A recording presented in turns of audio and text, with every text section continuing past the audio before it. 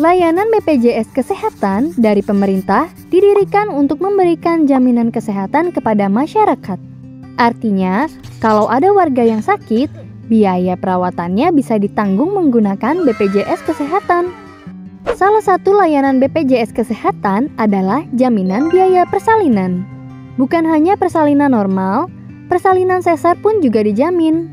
BPJS Kesehatan juga memberikan jaminan biaya pemeriksaan kehamilan, pemeriksaan bayi baru lahir, dan pemeriksaan pasca persalinan. Jadi, mams nggak perlu khawatir lagi dengan biaya persalinan. Layanan BPJS Kesehatan ini bisa meringankan beban biaya persalinan tersebut.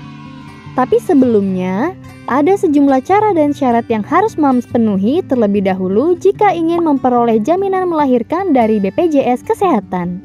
Yang jelas, Mams tentunya sudah harus menjadi peserta BPJS aktif dan rutin membayar iuran kepesertaannya setiap bulan. Syarat dan prosedur BPJS Kesehatan untuk persalinan. Pertama, Mams harus datang ke FKTP atau Fasilitas Kesehatan Tingkat Pertama yang tertera di kartu peserta BPJS Kesehatan Mams. Yang termasuk fasilitas kesehatan atau fasilitas kesehatan tingkat 1 BPJS Kesehatan ini mencakup puskesmas, klinik, atau dokter umum. Setelah sampai di fasilitas kesehatan tingkat 1, MAMS perlu mendaftarkan diri.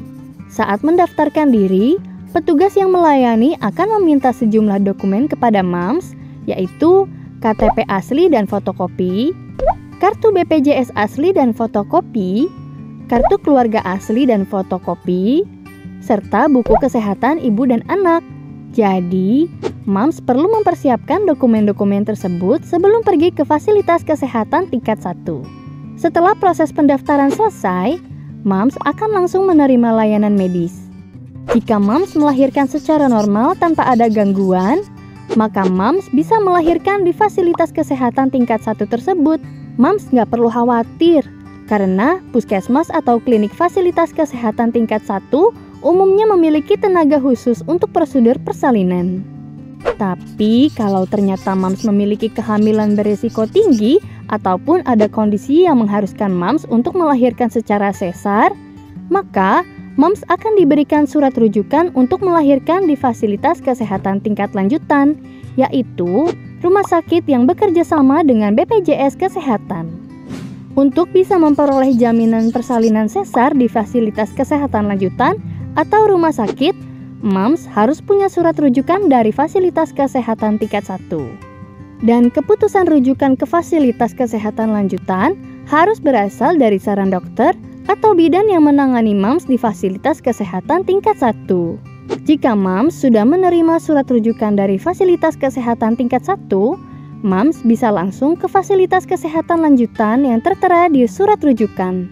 Biasanya, fasilitas kesehatan lanjutan yang dipilih adalah yang terdekat. Sesampainya di fasilitas kesehatan lanjutan, MAMS perlu mendaftarkan diri lagi dengan membawa serta dokumen-dokumen yang telah disebutkan di atas, beserta surat rujukan yang diberikan oleh fasilitas kesehatan tingkat 1. Jika semua syarat dan prosedur dipenuhi dengan lengkap, maka MAMS akan dengan mudah dan cepat langsung mendapatkan layanan medis di fasilitas kesehatan di bawah jaminan BPJS Kesehatan. Lalu bagaimana jika MAMS mengalami kondisi gawat darurat yang berbahaya dan membutuhkan penanganan medis secara cepat? Berdasarkan keterangan BPJS Kesehatan, ibu hamil yang mengalami kondisi gawat darurat bisa langsung ke fasilitas kesehatan lanjutan dan menerima penjaminan persalinan. Yang dimaksud kondisi gawat darurat adalah perdarahan, kejang kehamilan, ketuban pecah dini, gawat janin, dan kondisi lain yang mengancam jiwa ibu beserta bayinya. Ini artinya, jika memiliki kondisi gawat darurat, MAMS bisa langsung ke rumah sakit tanpa harus membawa surat rujukan. Bagaimana MAMS penjelasan tentang prosedur melahirkan menggunakan BPJS Kesehatan tadi? Sudah cukup jelas kan? Jika Mams punya pertanyaan ataupun pengalaman seputar penggunaan BPJS Kesehatan untuk prosedur melahirkan, tulis di kolom komentar ya.